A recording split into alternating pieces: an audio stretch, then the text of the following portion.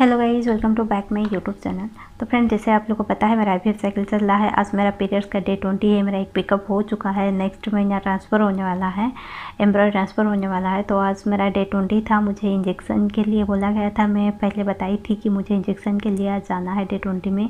और ये injection लिप्राइट injection है। ये इंजेक्शन जो है, कमर में दिया जाता है और इसका प्राइस जो था, पाँच हज़ार पाँच सौ था। इंदिरा आई का बात मैं कर रही हूँ। और ये इंजेक्शन एग्जैक्ट मुझे पता नहीं है किस लिए यूज़ किया जाता है बट ये इंजेक्शन जो है मतलब आई के लिए तो यूज़ किया जा रहा है और भी बहुत सारा ट्रीटमेंट के लिए भी यूज़ किया जाता है। तो देखती हूँ मेरा क्या होता है बट मुझे जितना पता है बेसिकली ये बेसिकली ये जो है आपका यूट्रस का लाइनिंग को बनाने के लिए और आपका जिस टाइम आपका फ्रोज़न एम्ब्रॉय ट्रांसफ़र होता है, उस टाइम आपका जैसे कि ओवुलेशन ना हो प्री मेच्योर ओवुलेशन हो जाता है। ये सब के लिए भी यूज़ किया जाता है। इसका मेनली किस लिए यूज़ किया जाता है तो इतना मुझे पता नहीं है।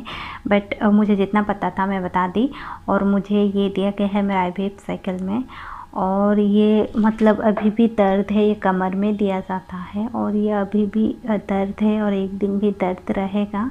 फिर मुझे डे टू से बहुत सारा मेडिसिन दिया गया है और मैं नेक्स्ट वीडियो में बताऊँगी क्या क्या मेडिसिन मुझे दिया गया है डे टू से स्टार्ट करने के लिए। फिर डे फोर्टीन में बुलाया गया है, आ, है सोनोग्राफी के लिए। तो फ्रेंड्स अगर आप ये चैनल में नए हैं तो प्लीज़ चैनल को सब्सक्राइब कर लीजिए।